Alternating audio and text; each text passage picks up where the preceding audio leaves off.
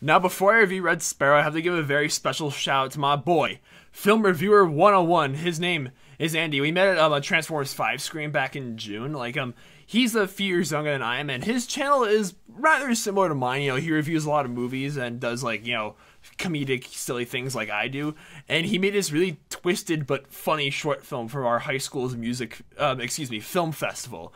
And yeah, like he's helped me out a lot in the over the past few months. Like he's even like asked people to subscribe to my channel through Reddit. And honestly, if it weren't for him, I wouldn't have as many subscribers as I do now. Like, I, I wouldn't be as close to 500 subscribers as I am. So, thank you so much, Film Reviewer 101. So, chances are, like, if you are watching this video right now, you might be one of those people that he's, like, you know, asked to subscribe to me through Reddit. And you guys are awesome as well. So, yeah, thank you guys so much. Like, we're pretty close to 500 subscribers. I got very special. I got, I got plans. Don't worry. And yeah, film reviewer, you're awesome, man. Keep up the good work. Keep up the awesome work. Keep seeing movies. Keep doing what you love. And yeah, you've been such a huge help. So without further ado, let's review Red Sparrow.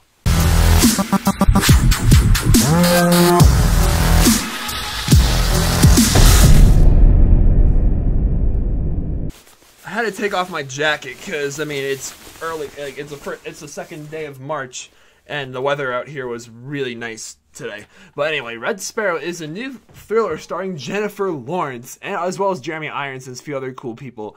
As Jennifer Lawrence plays this Russian lady who becomes a Red Sparrow to support her um, sickly mother. As the Red Sparrows are like spies, they work over, they work like in international territories, and they're like they they're like assassins. There's yeah, they're spies. They do these like really cool like you know tricky things and yeah, it's basically her story and how like she became Red Sparrow, what she needs to do to complete the job that she's on. Okay, I'm a simple man. I see Jennifer Lawrence in a movie trailer and I get really excited. Like Jennifer Lawrence, she's like one of my favorite actresses, and like I see her. I th- this is a perfect like a great role for her. Like you know this like sexy like you know really sweet like kick-ass like you know assassin like i was just i just of course like how could i not be excited for a film like that guys? So yeah after seeing red sparrow like um just even the trailer it looked really interesting like you know a great start to march. Like march i swear is like a new summer blockbuster month. Like it, it, you debate me all you want that. Like you know last year we had a lot of big releases and this year we have more big releases. And yeah um so after seeing Red Sparrow, I'm not gonna lie, it didn't live up to all my expectations. Like it wasn't as satisfying as I thought it was gonna be. Like the biggest problem that I have with Red Sparrow is its pacing. Like the second half definitely picks up, but the first half was a little too slow for its own good. I actually found myself kind of falling asleep a little bit, which isn't which is kind of my fault because I woke up before seven o'clock this morning for school. but yeah, like this film, like the pacing is very like you know it's choppy and like the narrative, it's like it's a slow burner, you know, a little you know for a thriller, it shouldn't be like you know super slow. But yeah, this film. It definitely takes its time. There's not such action as you might think there'd be. There, when there is action, though, the action is very entertaining. But this film was like a little more than two hours, if I had to guess. It felt a lot longer.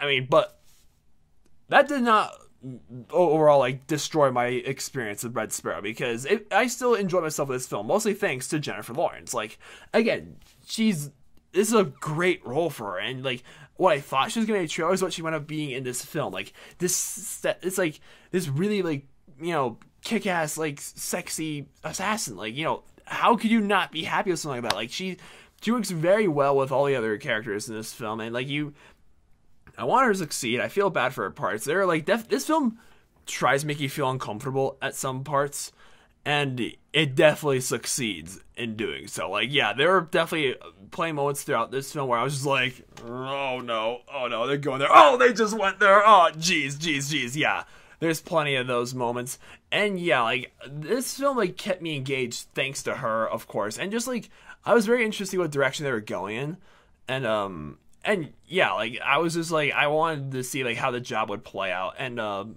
and like it it ends kind of like on a bittersweet note. You know, I, for, of course I can't go into that because you know spoilers.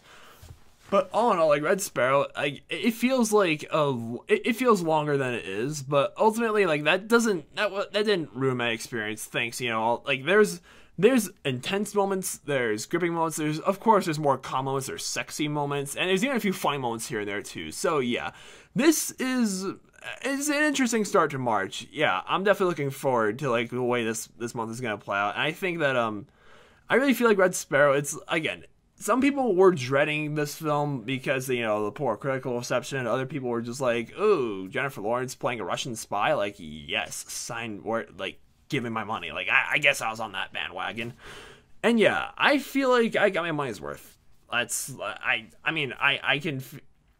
I can gladly say I had a good time with Red Sparrow. So yeah, despite some problems, I will like you know the slow, uneven storytelling. Like Red Sparrow definitely like has an uh, like offer is a, a, a, I can't speak is a is a very worthy and is, is a worthy entry into Jennifer Lawrence's career because yeah like this this film definitely succeeded in entertaining me so for that I'm gonna give Red Sparrow a six out of ten stars it's a passable film okay serious question what's your favorite Jennifer Lawrence performance Lawrence performance Ah, I'm a poet. I didn't know it. All right, thank you guys for watching, and don't forget to check out Film Reviewer. Yeah, he's been a huge help on my channel, and um, yeah, you guys have an awesome night. Good night.